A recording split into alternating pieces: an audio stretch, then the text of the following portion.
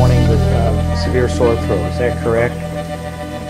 And um, you also were here two days ago for the same thing, right? And I want you to talk loud because part of the importance of this teaching video is that um, the hot potato voice is, is would suggest that there's something going on in your airway. So, and that's the term we use, hot potato voice. So I'd, I'd like you to count to 10 for me, if you would.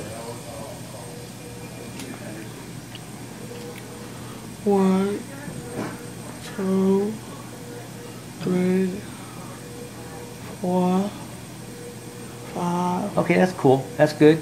Um, so you, you actually have pretty bad sore throat going on right now.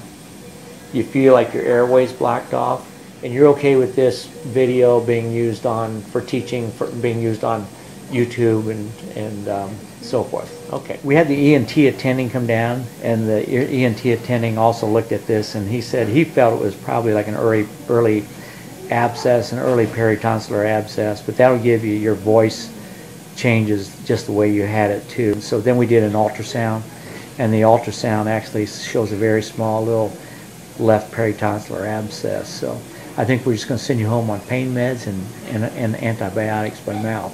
We did give you some IV antibiotics, um, oh. some clindamycin, about 900 milligrams on that, and hopefully we'll, we'll get you better.